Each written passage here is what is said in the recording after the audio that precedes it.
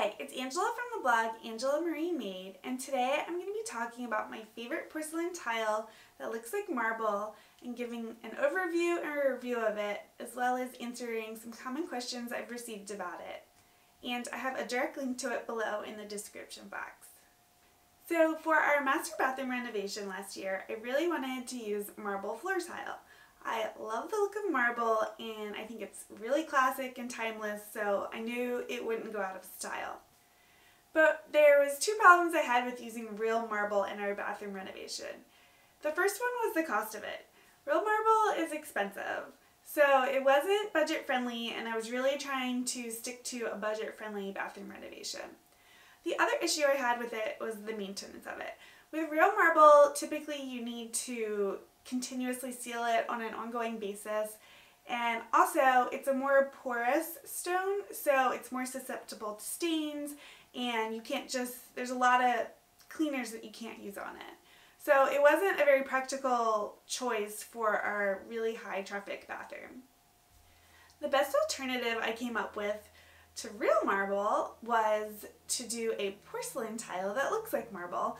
I thought this was the perfect solution because porcelain tile is really durable and it's more budget friendly, but you can get porcelain tiles that actually look like real marble, so you get the look of marble without the negative parts about it.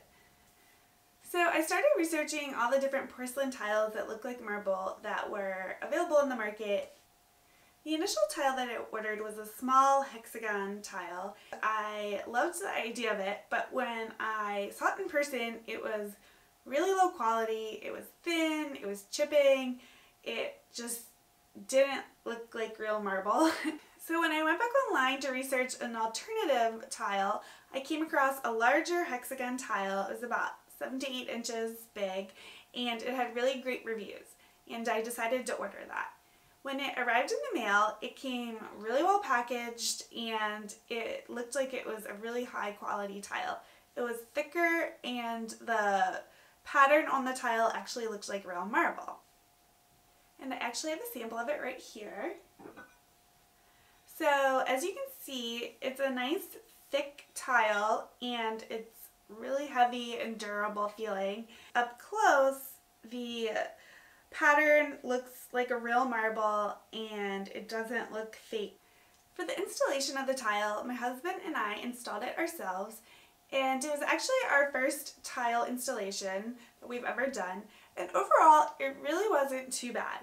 It was a little difficult at first just figuring out the initial cuts especially because it was a hexagon pattern to it but once we got that started it went faster. And for installing it, we removed our old tile and then we put mortar down followed by Hardie cement board and then we installed the tile over that. It's been about 10 months since we've installed it and I love it as much as the day we installed it. It's held up beautiful and still looks like new.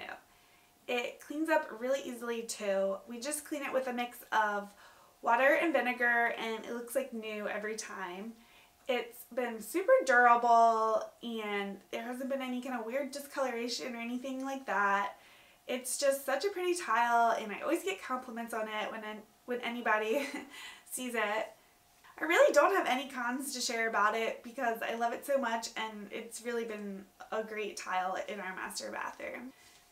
Alright, I wanted to share some common questions that I've received about it since we installed it.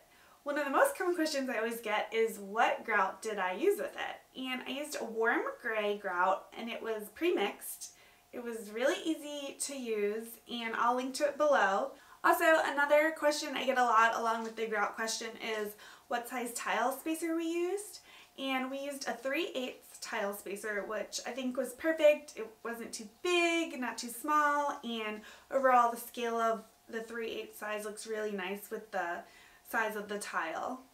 Another common question I've gotten is about the tile variation and I found with the boxes we received there was a ton of variation in the pattern of the tile and I really didn't have any issues when I was laying it down with all the tile looking like it was the same uh, the same pattern.